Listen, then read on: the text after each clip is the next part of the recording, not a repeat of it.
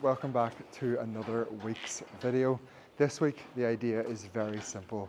I want to give a little bit of a behind the scenes look, a little bit of extra information around the cow's methane being fake emissions video, which I posted on TikTok during the week.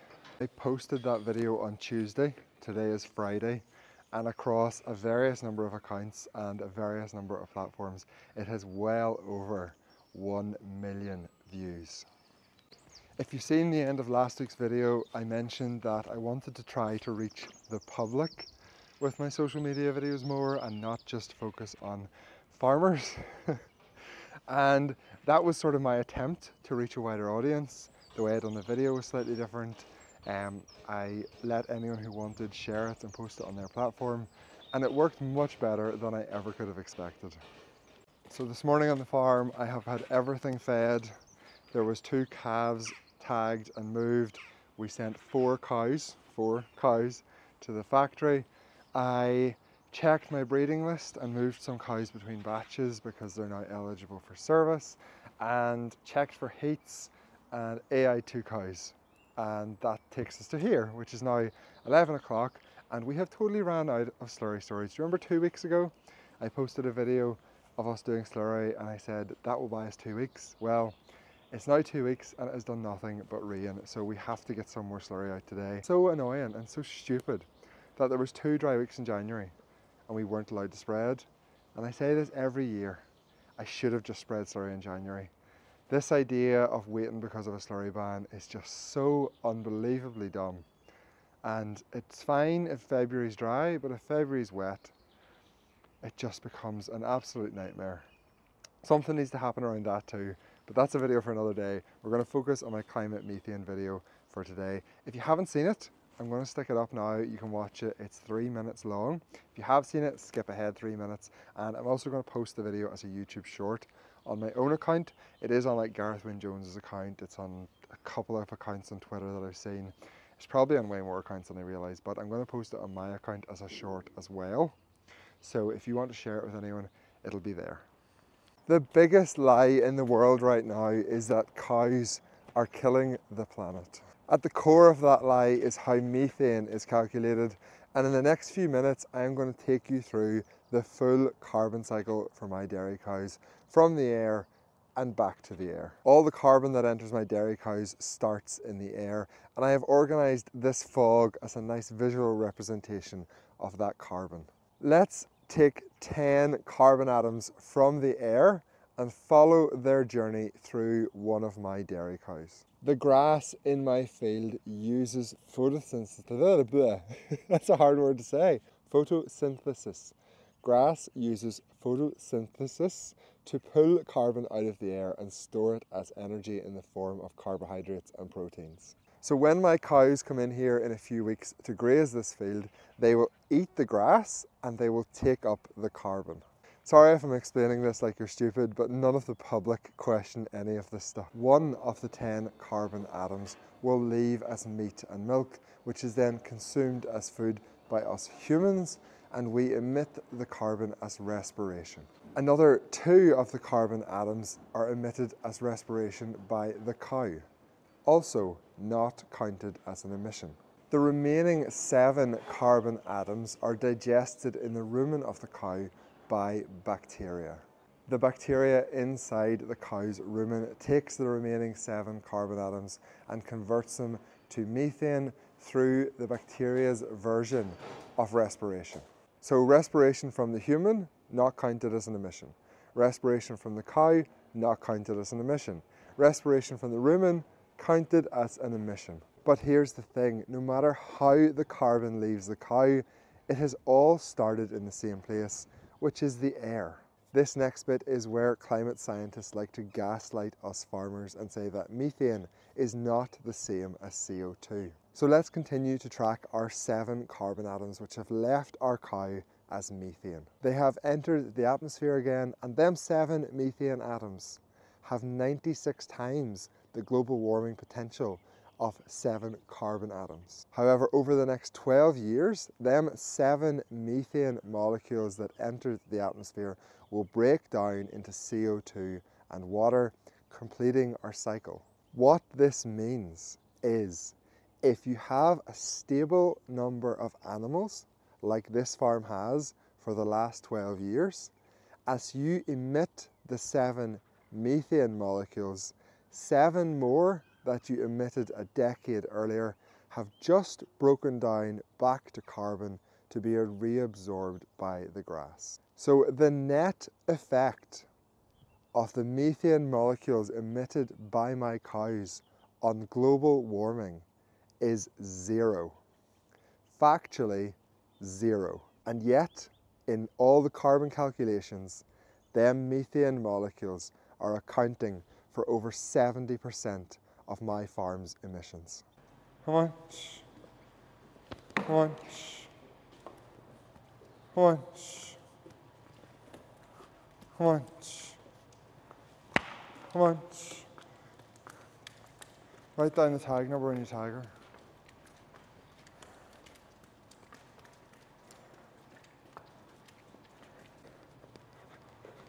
Have to be milked for basins.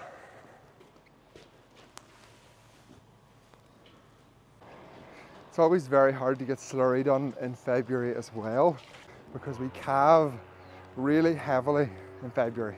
In January, we maybe have 10 cows calving. February, 70 cows. It's like, why do we do this to ourselves for a stupid, pointless date which someone in an office made up? Oh, anyway, this video was not meant to be a rant about the slurry ban. it was meant to be about carbon and my viral video.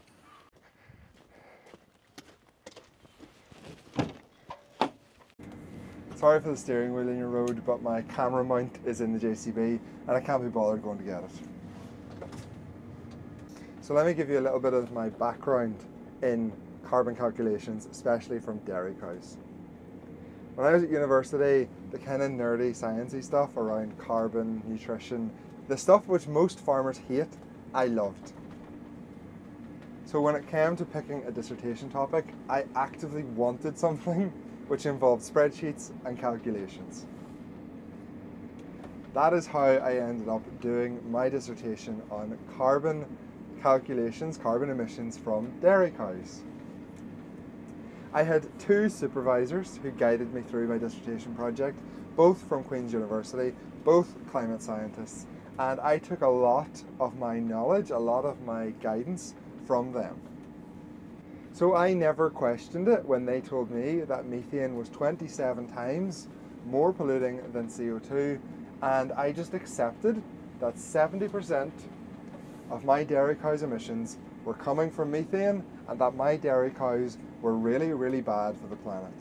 In fact, I remember sitting in an initial meeting with my two supervisors and them heavily pushing me down the route of using tier 3 or scope 3 emissions, which makes dairy cow emissions several times worse than they actually are. It wasn't until six or seven years later that I started noticing that different people used different values for how much more polluting methane was than CO2. So I decided to go away and Google it and try to understand why some people said methane was 24 times more polluting, some said 27, some said 35, some said 86, some said 98, some said 112. You get the idea. And when I started Googling the answer, I opened a can of worms and an absolute rabbit hole. That was the first time that I realised that methane was a short-lived greenhouse gas and only survived in the atmosphere for 12 years. And when I found out that methane was short-lived, that my cows were essentially contributing nothing to global warming through their methane, I had serious doubts that I was right, and I went out of my way to ask people about this and to find someone who could explain to me why I was wrong. So when no one could disprove what I was saying, and in fact most people I asked said, yeah, no, that's right, yeah, that's GWP star versus GWP 100, my mind was blown. And maybe that's a reaction that some of you have had from watching that video. So then I started asking the question, why is it calculated like this? Why is everyone deliberately misleading farmers? And the answer is actually very simple and very predictable, and that is the oil and gas industry, the ones with the billions of pounds that basically sponsor world governments, They are using agriculture, biomethane from cows, to buy them longer so they can emit more carbon from under the ground into the air without warming the planet. Paris Climate Change Agreement, it blatantly states this. If animal numbers can be cut, methane can be reduced, society can emit carbon for longer. That is why this is happening, but no one wants to tell farmers. The global media propaganda machine, backed by billions of pounds from the oil and gas companies, has been at work now for years to convince the public that my cows are actually responsible for global warming and not the companies digging carbon up from under the ground. So that takes us up till about 18 months ago. And one of my favourite YouTube channels, a channel called Kurzgesagt, done a video on how methane from ruminant animals is killing the planet. This is a channel which gets tens of millions of views on their videos, has a huge influential impact on young people who are watching it, and they totally ignored the science that by this point I knew was true. I have vowed to never ever watch that channel again and I have stuck to it. I am doing a one man boycott. but it just illustrated to me the power of the forces that agriculture is facing. And so we finally end up in present day. I've made a few videos now trying to highlight how unfairly methane is calculated. There's a video here on YouTube called Why My Cows Are Not Killing the Planet. There's another video about emissions from beef cattle. There is a video about a stick which went semi-viral, probably like half a million people seen it, about how carbon calculations and how methane is treated is so unfair in agriculture. There was another another two videos I posted recently in a series called Climate Dismisinformation and the methane video, which I released on Tuesday, was meant to be the final part of that series. And this is where we get into like the behind the scenes of posting videos on social media a bit. So the previous two videos were me standing in front of a whiteboard and the idea of the video was to use the whiteboard to illustrate what I was saying clearer. However, the problem was no one wants to watch a video of someone standing in front of a whiteboard, so I had lost the audience before it got interesting enough to keep them. Also, having to explain that this is a series and it's called Climate Disinformation and all that, it didn't add to the video, it just lost people's attention. So for the third and final installment, the one that mattered, the one that was about methane, I had to do something different and I decided to go with a formula that works, which is be in an interesting environment while I'm doing the video and start it with a really attention grabbing statement.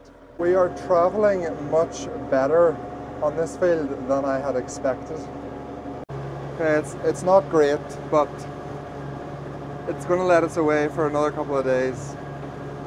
So we were chatting about how I changed the format of the video to try to reach a wider audience, to try to reach the public. So I started the video with the statement, the biggest lie in the world right now is that cows are killing the planet. So if you were scrolling through TikTok, you would stop and hear that sentence and I've got your attention. The next thing I changed about the format of the video was I moved around where I was recording and that keeps people's attention as well. It essentially breaks the video down into chapters or scenes and people are very reluctant to watch a long monologue. Kind of like this, so I'm kind of defeating my own advice, but we'll forget about that for now. Another key ingredient which made that video a success, in my opinion, was the use of the little tiny graphics.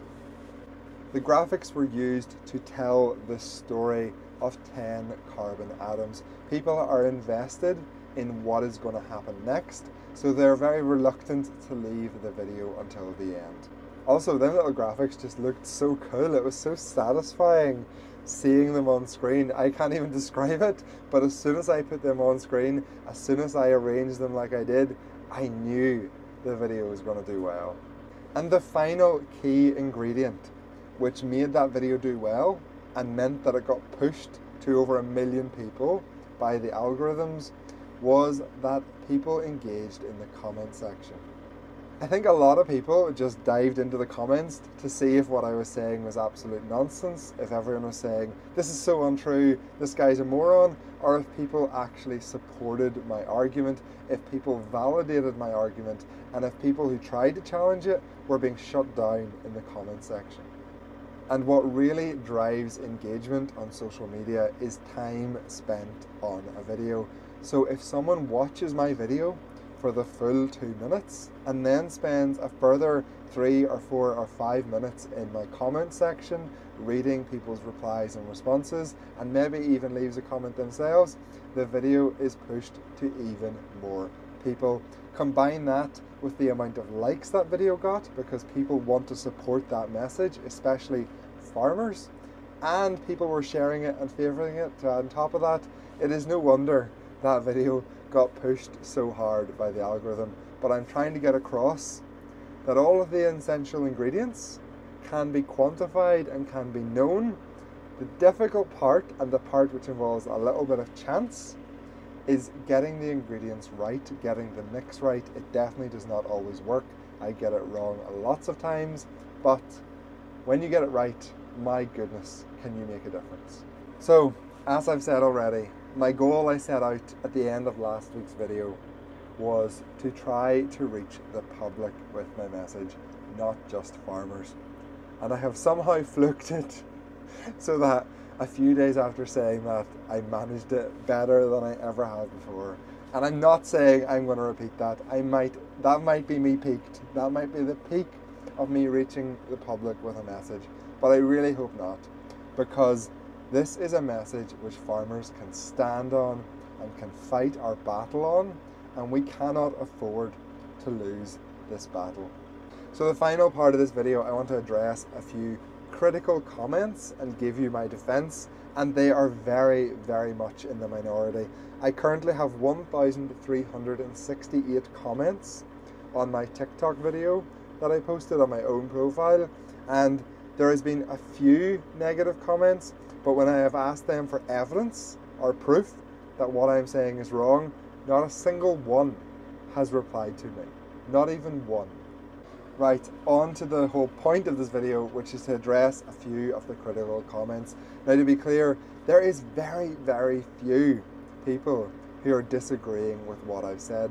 I get so few negative comments on my videos, and I don't understand it, but please, I don't encourage it, so thank you for so few negative comments. It genuinely would be a much worse experience if my comment section was filled with people saying I'm doing a terrible job. But there is a few, and there was actually only one or two on my own account. There's currently 1,368 comments on the video. Maybe 10 were trying to say that I was misleading people. Um, but on Twitter, on other people's posts where they have shared my video, there has been a lot more negative comments. So I'm going to pick one or two, I'll put them on screen, and I'll give you my response to end this video. Okay, we have a guy on Twitter called John on Climate, clearly not an unbiased opinion, and he says two huge gaps in this flawed analysis.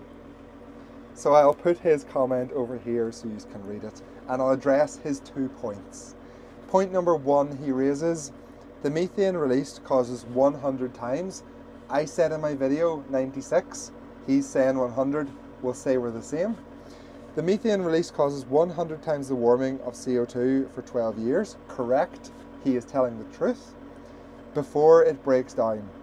Huge difference. How are people so dumb? Oh, right, okay, let's go through this once again. Methane does cause 100 times the warming of CO2. Methane does survive in the atmosphere for 12 years. However, if the rate my farm is emitting methane is constant, so the animal numbers stay the same, as my cows emit a methane as my cows emit methane today, the methane my cows emitted 12 years ago has broken down to CO2 again. The amount of atmospheric methane that can be attributed to my cows remains the same. Have I made that clear? That is literally the entire point of the video. John's second point is even stupider than his first point. CO2 absorbing forests are increasingly being cleared for grazing land for more and more cows. Now, I do not doubt that that is happening somewhere in the world. But we are talking about UK and Ireland farms, farms in Northern Ireland. We are talking about my farm. My farm is not deforesting land to graze cows. So, what is the relevance of this to the argument I made in the video about how my methane is calculated? This is what you call a classic deflection, where he wants to put the attention somewhere else because he knows he has lost the argument. Right, let me find another negative comment. There is tons of positive comments. Um, let me see. That's pretty good. I'll post that, I'll screenshot that and put it on the side. Imagine the amount of propaganda it took to make people believe cows are the problem. That is actually genuinely true. The mainstream media is literally just propaganda. Here's someone who has tagged Rishi Sunak and Greta Thunberg in my video. Uh, any response, he says. Let's see if they responded. I can confirm they did not respond yet. Okay, we have another genius in the comment section. This time it is Pale Herminine. Let me screenshot it. But you're turning CO2 into methane, correct. Which is worse, correct. Yes, it breaks down into water and CO2, correct. But you keep producing it. What does it matter if it's there 12 minutes or 12 years? It's there, constantly. Look, I will never give up eating meat, but this seems false. Okay, that's a better comment than John, okay? I get that you're confused a little bit, and it can be confusing, okay? But the amount of methane up there is constant, right? So it has a constant amount of warming, okay? Net zero is not to roll back warming and cool the planet net zero in 2050 is to stop an increase in global warming. So our goal is to cap the amount of greenhouse gases in the atmosphere and stop them increasing.